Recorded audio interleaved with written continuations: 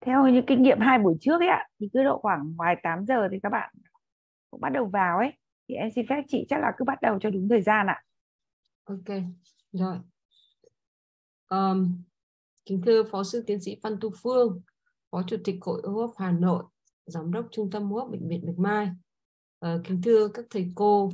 các anh chị uh, các đồng nghiệp tham gia cái buổi hội thảo ngày hôm nay của hội hô hấp Hà Nội. Uh, đó là cái buổi chủ đề uh, buổi hội thảo thứ ba trong cái chuỗi hội thảo về tiếp cận đa chiều trong chẩn đoán và điều trị bệnh phổi mô kẽ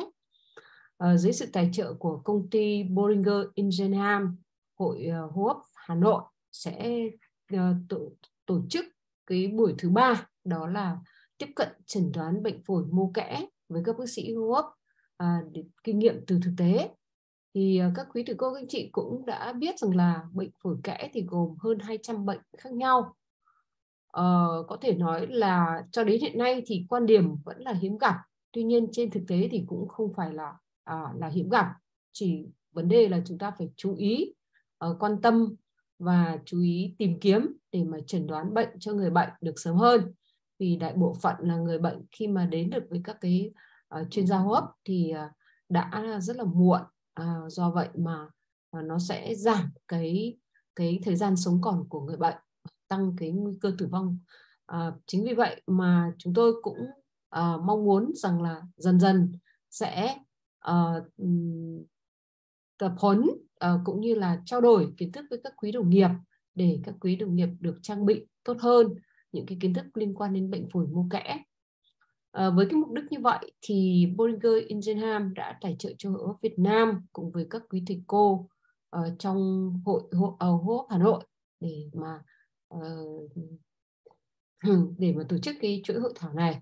Và đến với buổi hội thảo ngày hôm nay thì uh, uh, đồng chủ tọa với tôi đó là phó sư tiến sĩ Phan Thu Phương. Uh, và có hôm nay chúng ta sẽ có ba cái uh, chủ đề.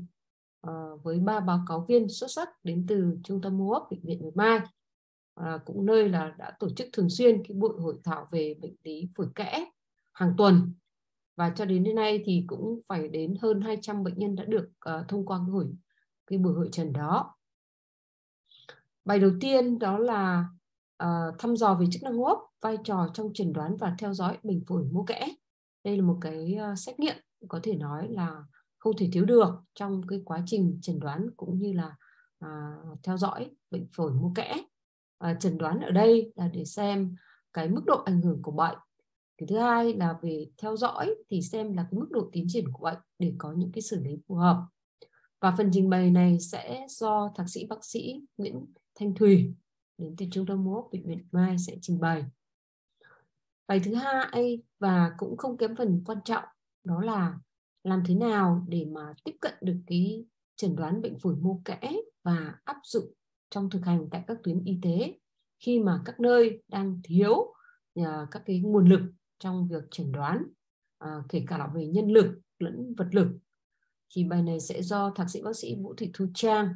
ở bộ môn nội, Đại học Y Hà Nội cũng như là đến từ trung tâm hô hấp bệnh viện Mai sẽ trình bày.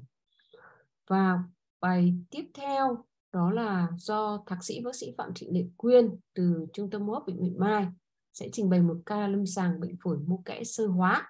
ờ, trên cơ sở là thực tiễn. Thì ờ, với cái ca lâm sàng này thạc sĩ Quyên sẽ cho chúng ta được một cái nhìn một cách thực tế hơn uh, trước một cái bệnh phổi uh, mô kẽ sơ hóa thì cái việc chẩn đoán và điều trị cũng như là quản lý bệnh này ra làm sao. Và tôi cũng hy vọng rằng là sau cái buổi hội thảo này thì các quý đồng nghiệp sẽ có thêm những cái kiến thức cần thiết để mà hỗ trợ cho cái công tác chẩn đoán, điều trị à, và quản lý bệnh phổi mô kẽ à, ở Việt Nam chúng ta. À, tôi xin được gửi lời cảm ơn tới công ty Bollinger Ingenham đã hỗ trợ đồng hành cùng với Hội hô hấp Hà Nội cũng như là Hội hô hấp Việt Nam và các hội chuyên ngành khác trong cái công tác đào tạo uh, cũng như là công tác nghiên cứu khoa học hội thảo uh, vân vân. Và uh, cũng xin cảm ơn trước các báo cáo viên chuẩn bị bài ngày hôm nay cũng như là cảm ơn phó sư tiến sĩ Văn Thu Phương đồng chủ tọa buổi tối hôm nay.